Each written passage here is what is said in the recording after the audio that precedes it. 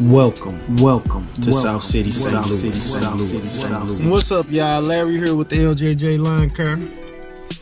It's Thursday, let's see, the 7th. And I just want to tell y'all something. This is crazy what I'm about to tell you.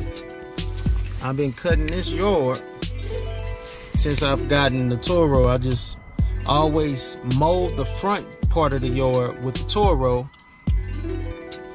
and then I mow the back of the yard with the Exmark. I never even took time out to see if I can mow the backyard with the Toro because the side of the gate is too small. What I always do with properties is in the city, I'll have to drive around and go through the back gates, you know, go through alleys and go through the back gates and stuff.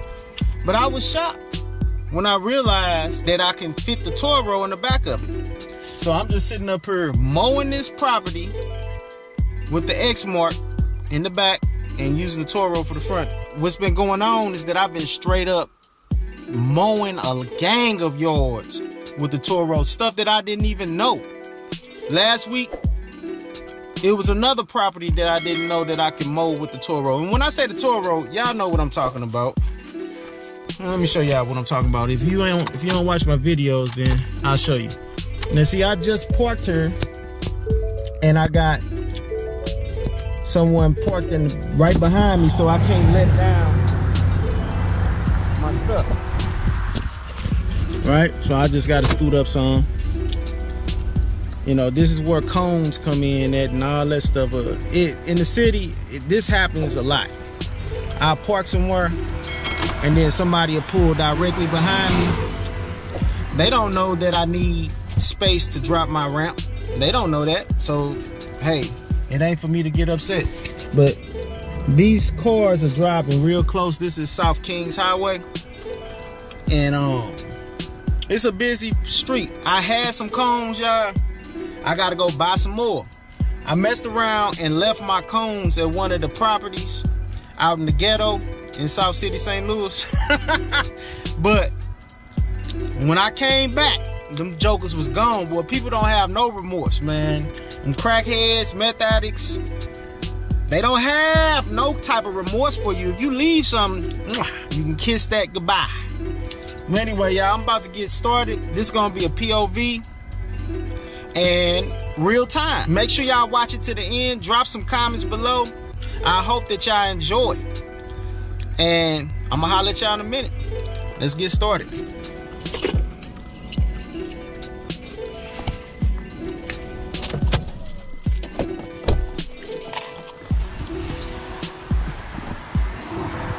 See, this is what I was talking about.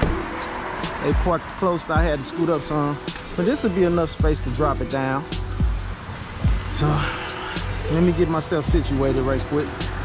This is why you need cones down and stuff like that. The cones gone. Gotta buy some more though. My cones gone and I gotta buy some more homes. About them cones, man, I was on South Jefferson. That's way busier than South Kings Highway. And it was a whole lot of cars coming and everything, so I pulled out my cones. I hardly ever use them just for these two streets. But next thing I know, when I pulled off and I'm gone, the next day I look outside my truck and I see that I ain't got my cones. I'm like, dang, I left them out on South Jefferson. I drove right over there the next day, the next morning, them jokers was gone. Them crackheads had got it. We're about to get started again on leaves. I gotta put down my mulch kit. I gotta put the recycling kit on that Toro so I can mulch up some leaves. But a lot of my customers don't really even care about none of that. You know, when you get to talking more money, then that's when it's like, oh, okay, well, don't worry about it. I'll see you next year. You know, it ain't nothing wrong with that either. But let me get started though. Man, today we're gonna talk about charging for everything. Listen, this is for those who really just struggle with charging. Straight up, you gotta get to the point where you is willing to charge for everything. Let me tell you why. The reason why you want to start charging for everything is because it'll become a habit that you really need to escape. Now you sitting up here charging for your basic price. from the contractual agreement, whether it's written or verbal.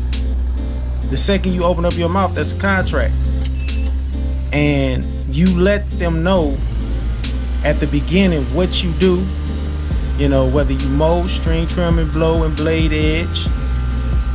And that's what they're agreeing to pay for the basic bi-weekly prices or weekly prices. And you let them know in details, verbally or written, every area that you will be servicing. If you don't string trim the plant bed, don't just do it for free. Let's say that a customer said, Hey, it's weeds growing inside the plant bed. Do you mind if you string trim that for me? I don't care if it'll only take you a minute to string trim inside that plant bed. Make sure you just sit up there and just tell them, hey, one or two things. If you're a nice guy and you're still working on growing your cojones, make sure you let them know, hey, this time, this is on the house. After that, if they ask you to do it again, they'll know and expect that you might charge. They can't say, why you want to charge me now? Because you will be looking crazy. You'll be like, dang, I don't want to lose this customer. And, I, and you probably don't want to offend them because you're nice right now. And you should always remain nice, but you just nice with an edge. You charging for everything. So in situations like that, you have to be able to say something. And that's anything. If they was to come to you and say, hey, there's Weeds growing outside the sidewalk. You have to be willing to say, hey, you want some sidewalk concrete treatment? It costs this much. I can do the whole place for this. You have to open up your mouth and say something because if you don't, then you will find yourself in numerous predicaments where you're going to need to go up on that property because you have included multiple things by saying yes to questions and favors that they are asking. You know, you can't be mad at them. Don't get angry with them. Get angry with yourself. It's not a big deal. They're not doing nothing wrong. I promise you. If you say how much it costs to do something, they are either going to do it themselves or or they are going to pay you the price to do it if they really want it done. Or they might realize that they really don't care for it that much. They was just asking if you could do it. I know how it feels. You don't want to be disappointed man. I understand that. But i'm telling you for facts somebody gonna have to get disappointed. Now that's just real talk. Straight up. Man i remember a time that it was plenty of customers who I'll do something free for. Plenty of them. I just I just won't say nothing about it, you know. Uh, someone asked me, "Hey, Larry, can you cut that bush down right there?" And I know that I have the tools for it, and it's no big deal. It's just that I have to charge for this. It's inevitable. But you know, I, I would just say, okay, no big deal, and just do it. Those were the old days, the good old days. Now, if I am pleased with the price, excessively pleased, I mean to a point where it's like, okay, that's fine, I can get that bush, that's nothing. That won't be no big deal. That's a different story. That's a whole nother story. If you charge it and you are happy with your price, how much you making off of it, off that property, then you good. Just you know, and you feel like it ain't nothing to do, just don't don't charge. That's your business. But even if you are charging the right price and it's a nice price and you satisfied with what you're making and everything is on point, you can even just charge a dollar, man. Just a dollar or two to do something. I'm just telling you right now. Because you're gonna be looking crazy when they say, Why are you charging me this time? Last time you didn't charge. You're gonna be looking real crazy. Or you're gonna have to figure something out, something to say. And it ain't even worth dropping the property or the customers. Because some of these customers are super valuable. Super valuable. And you can't, you you know, you just you don't want to mess things up for something that you doing. So remember to just say the simple words. The simple magic words. This time is on the house. If you want to be nice, you know what I'm saying? It's just that simple. Cause that hey, I I just don't say okay no more. It's it's it's either on the house at this time it's on the house or it's gonna be like okay um this costs this much for me to do i remember one time it was a customer he was saying that he wanted every leaf picked up after each mow i told him at the beginning do not expect for every leaf to be removed from off this property i mean it's millions of leaves i'm gonna get I'm gonna get to the nitty gritty. I'm gonna even go over it with a vacuum this one time. I charged him, I think it was 250 for that service. That was a challenging property. It, he had leaves on rock beds and all in the back. It was difficult for me to mulch them leaves. Uh, um, but yeah, so after that service, the customer was like, hey, I had seen there was a couple of leaves left on the, the rock bed. And I was um wondering if you can hit the property with the vacuum every time you, you mow. Cause he was surrounded by leaves. He had a lot of trees. He was encompassed by trees, surrounding everywhere. And I told him, I said, hey, what you see is what you get because you have so many leaves. and plus that's going to have to be an additional five dollars i'm already paying you 45 dollars a week i'm like hey i understand all that but it's going to be 50 dollars a week if you want me to go over this every time to use the vacuum the leaf vacuum. That was their Echo leaf vacuum. I'm going to have to charge you five dollars.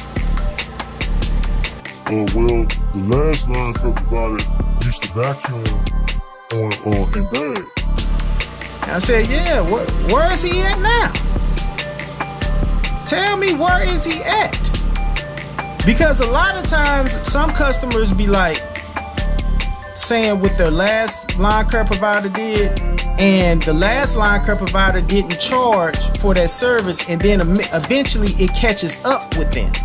And then they be like, oh man, I should have charged for this. And then they just start easing their way on out the door. You know, something might happen to their truck. Out of nowhere, they just saying, hey, something happened to my truck. I'm out. Or they may have stumbled up on an opportunity of a lifetime where they have to move and leave town. You know, all any kind of thing. Listen, lawn care providers will come up with a way to get out of a situation. but real talk, if you already set the price right, you don't have to worry about that type of stuff. You will feel fine about either you're gonna do it this time on the house or charging them. I don't care if it's a dollar, if it's 50 cent, charge. Charge for everything. But yeah, anyway, I'm going to go ahead and let this video go ahead and play on out. I hope y'all got something up out of this. And make sure you go ahead and just say something. Charge them. Don't just say okay because you like the customer or the property. Hey, like this customer that I'm cutting right now. I like this customer severely. I'm like, hey, this is I done stumbled up on a nice customer and a simple, easy property. I charge $55 bi-weekly for this property. My bottom line prices is $50. Yeah, I like this customer. This is this is a cool guy. But anyway, I hope you remember the charge. That's all it is too. Simplified. Remember the charge. Grab your kahunas, man up, become strong, and charge. Because if you don't, I will. It's just that simple. Because you're gonna end up dropping them. You end up you're gonna end up saying, hey, I can't cut your property no more. Something happened with my truck. Anything. I don't know what y'all would say to get up out of it. But, but you know what I'm talking about. and then they call me. And then they get the right price. And then they be like, my last lawn care provider only charged such and such, or he didn't charge me for that. And I say, yep. Now you with another lawn care provider, and they're gone. And it, it usually works out. I just charge what prices I feel good to do. If I don't feel good with the price that I'm charging, nine times out of ten, I carry it out throughout the season. Then I go up before next season. Meaning like when the next season finna come, I'm gonna go ahead and go up on the price. Cause I gotta I didn't charge for this right here. I didn't notice this. So hey, I'm a charge. That's righteousness, y'all. That's how you supposed to do it. So make sure y'all like and subscribe. Drop a comment below and let me know. Do you charge for everything or sometimes you just let stuff slide? Alright. I'm gonna holler at y'all in a minute. Let the video play out. Go ahead and watch it, enjoy it, or listen to the sounds of the mower and the music. And enjoy yourself. I'll be talking at the end of this while I'm in the car, so just stay to the end. I'm gonna holler at you in a minute. Peace.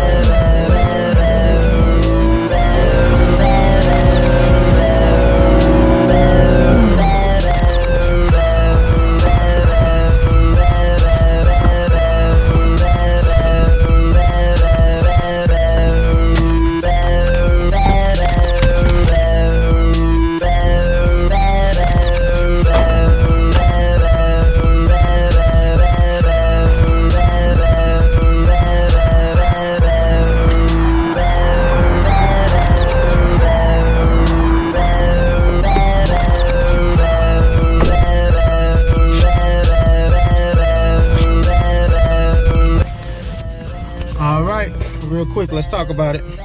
The side of that, the alley part, you know, the gangway, we call it gangway here. That side belongs to the neighbor. I don't do anything for free. The neighbor can pay me to, to cut it. I would have to actually, if my customer wanted me to cut that side, I would have to actually talk to this neighbor before doing it. Because you've been and did something that nobody don't want. I already been there before. I try not to repeat the same mistakes. But one thing I want to say is that this has been super easy. So much easier. Instead of push more in the back and everything, you see me mow the front, and then come around the back, drive around the side street into the alley, and mow that in the back. Remember this, always charge for everything. The second you do something that's outside of the contract, like for instance, if you say something verbal, verbal contract, you know, you telling them, hey, I string, trim, mow, and blow. Some customers ask you if you blade edge. Can you blade edge this? Anytime they ask you for anything, make sure you charge. The reason why you want to do that is because, well, I'd be nervous over here. Because these, these cars drive really close. I need to be getting from over here. Uh, it'd be a lot of accidents over here. But the reason why you want to charge for everything is because the second you do it for free, they assume that it's um you know that it's a free service added in addition to what they're paying for. So what you want to do, even if you have a good heart and you being nice, make sure you let them know this time is on the house or you can let them know, hey, this is on the house. But other than that, don't ever do nothing for free. I'm telling you, I've learned, I've been done it. It is what it is. Uh, one of my OG uncles, he say, I've been there, I done that, I stayed there, I've been made ashamed, and then I did it again. So there you go. That's a, that's uh, one of the sayings you can start ta um, taking. been there, done that, been made ashamed, and did it again. But anyway, y'all, I'm gonna holler at y'all in a minute. Make sure y'all like and subscribe. Peace. Crazy how I came up in this game and then I ran amok. It's Larry Johnson Jr., LJJ Care, all on them trucks. I stand insanely on it, bro. I love to gain a customer. I mainly maintain what I must. I earn their trust just for the bucks. I'm blessing them with beauty cuts and placing them on YouTube cause I'm trying to get subscriptions up. I'm driven by ambition, bro. I'm all about integrity. You should never compare to me unless you wanna see how deep your insecurity can be. I'm rolling so low in these streets and all all I know is to live free. I'm full of peace, but when it comes to lawn care, boy, I am a beast. I never leave until it's clean. I get them weeds and everything. I throw some seeds and motion leaves and trim them trees and charge them fees. And yes, I am the king of string. I said exactly what I mean. You see the way I do my thing. Them edges squared and crispy clean. Then if you haven't did it yet, go ahead and like, subscribe, and share. And best believe that LJJ Lawn Care's gonna be right there.